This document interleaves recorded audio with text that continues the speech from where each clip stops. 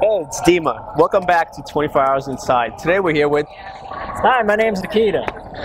Nikita. Can you tell us a little bit about yourself, what you do, your career, and everything in depth?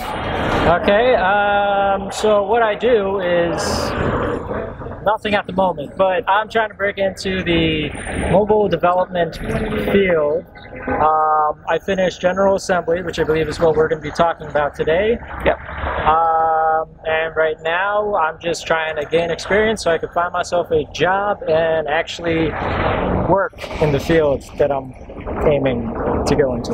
So, mobile development, is there a certain language you do mobile development? Android, iPhone? So specifically, uh, when I say mobile development, I actually mean Android development, uh, not iOS. So I went to General Assembly for Android development, which uses Java, but you can have you can use other languages depending on the software that you use to create the apps. Um, but I just know Java. So, why Android as opposed to iOS?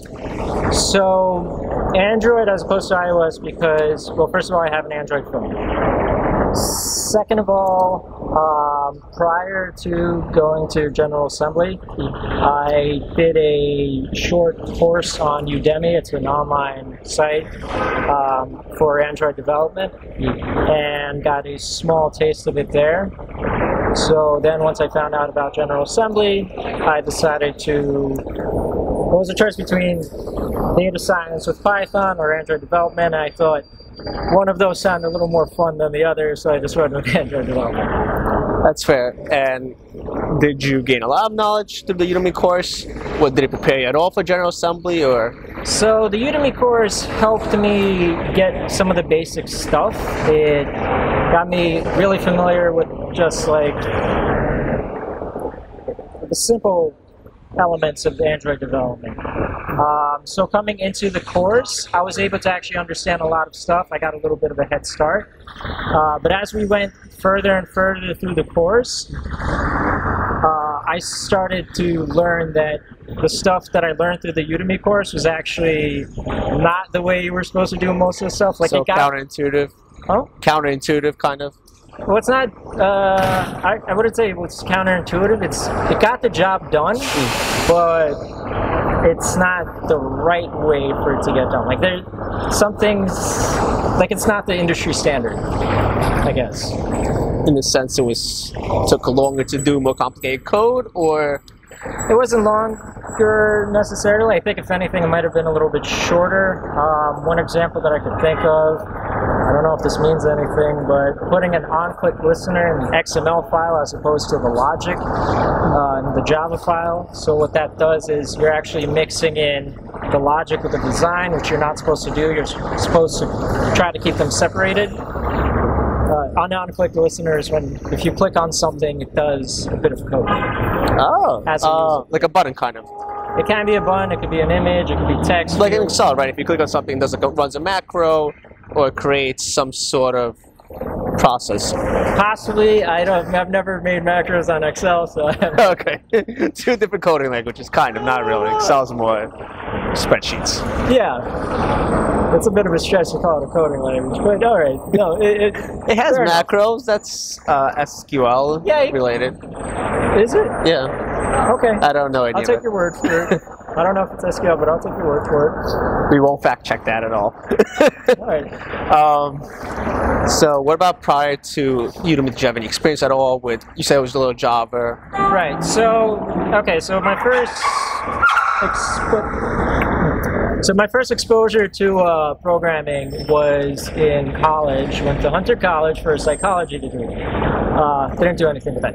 Um, but while there, I decided to take a computer science course. I think it was either a requirement or just something I wanted to do. So I took a computer science course, and along with it, I took a course on Python. It was just like a short course to learn Python. Um, and yeah, from there I started to play around with Python, did a few things here and there. I actually made an app.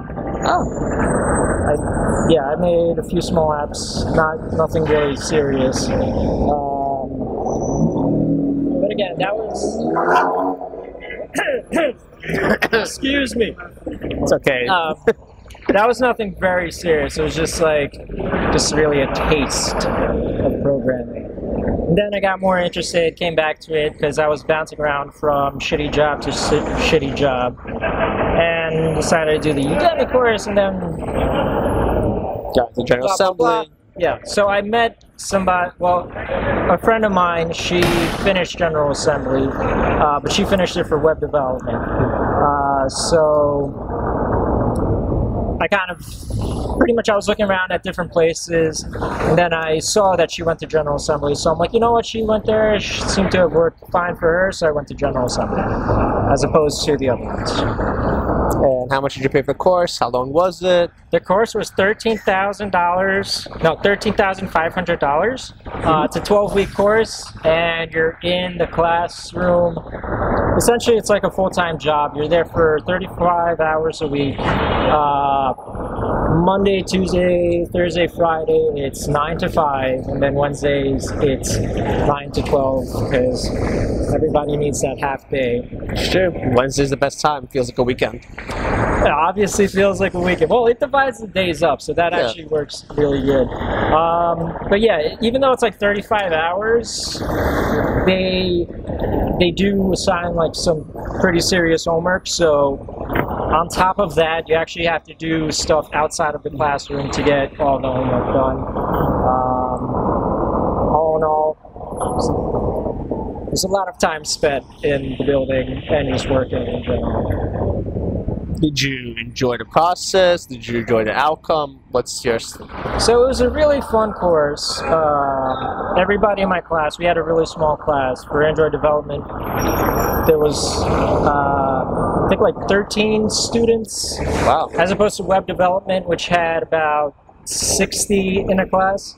Huge So- difference. Yeah, it was it was a huge difference. So we got to know each other pretty, all you know, all the students, um, teachers. We got to know each other pretty well. So it was pretty cool just hanging out with everybody every day. Um, learned a lot very quickly, and yeah, now. What was the question? That was, did I overstep the question? No, no, you're just going into more detail. That's what we're basically asking. Okay, Keep so going. yeah, now basically I just do some programming here and there, trying to fill out my portfolio with the stuff I learned. Start finding a job soon enough. Did you create any? Did you create any apps or projects in the class? What about after class? What are you currently working on? So in the class, we made for every lesson that we had. Usually we had like two lessons a day. We made like mini apps, basically just to test um, the concepts that we learned for the day. Then aside from that, we had four major projects that we were supposed to do. First one was a simple Java thing. I think it was uh, rocks, paper, scissors. Then I believe we did a tic tac toe thing. Then we did a fake mobile commerce storefront. Uh, oh, then it was a group project that we worked, combined a whole bunch of different APIs. Me and my group, we made um, a restaurant roulette app, which basically the idea is to help people find out new places that they haven't been to around their area. So Yelp. It's yeah. So that was one of the APIs we. Wait, are you creators of the Yelp? Hmm? Are you Yelp creators? No, no, we're not. No, if we were Yelp creators, I probably wouldn't be sitting here. Well, that's why you don't need a job anymore, right? yeah, that's exactly why I don't. I definitely need a job. If you're watching and you're hiring, please, please hire me. I will program for you. Um, but yeah, so for the app, the group project, uh, we worked with Yelp, Uber, Wait, you worked with. Twitter, the AP, uh, APIs. We worked with their APIs. Okay, I'm we didn't work with them like with the team or anything. Um, essentially, our idea was we wanted to have a thing where basically you pick something that you like, like say Chinese food, Sure. uh, and then you would click a button, and what it would do is just pick a random Chinese food place nearby, Okay. based on like parameters, like you set your price range, stuff like that. And the idea was an Uber, it would just call an Uber for you. The Uber would come. You would just go go into the car. You wouldn't know where you're going until you actually get there. That was the idea. Unfortunately, you can't do that. But No. no. So you take an Uber. You have no clue where you're going. That was the idea, and we couldn't do it. Okay. I see the reason why. But we ended up doing something a little bit different. It was a lot less extreme. Um, Did they know where they're going this time? Ye kind of. Um, so what it ended up doing, it still randomized it, and it picked a random spot for you, uh, and it just gave you a pinpoint on the map. It just omitted the name, so you can't see what that place is, but it tells you where you went. Where I mean, where you go. Oh, that's kind Uh, of cool. Yeah, so it's not as extreme, so obviously not as cool. Uh, Of course. with yours dad. And then there was another feature that I did most of the work on, but uh, um, it was essentially a date night feature. The idea is you start off an itinerary, so use the Yelp API. You pick a place, like say you want to start off at a restaurant. Sure. You pick a place with a restaurant, then you set a next thing. So what it does is it, let's say your second place you want to do bowling. Sure. So for the first place, you do the restaurant, and then what it does is it looks for bowling places out around the area of the restaurant that you pick, so you could go to bowling, and then it keeps doing that based on like the last place that you were. So does it choose the first? So does it take all places into consideration first, and then choose the restaurant, and then choose the bowling? no, you pick the order of the itinerary. So, okay. then you pick what places you want to go to. So for instance, let's say restaurant is 20th Street and Third Avenue, and the bowling is then what? somewhere near there. Okay, so it will go based on that. Yeah. What there's so like even if you're coming from another borough, sure?